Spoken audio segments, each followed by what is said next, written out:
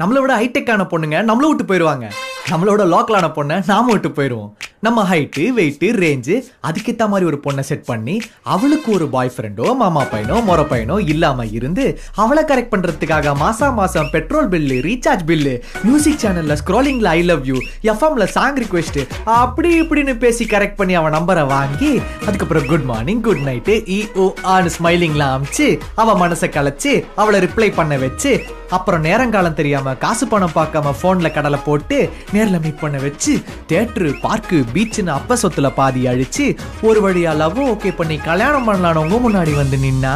Condition போடுறாராமே கண்டிஷனே. ஏய் லோக்கல் லோக்கல். என்ன கூப்பிட்டியா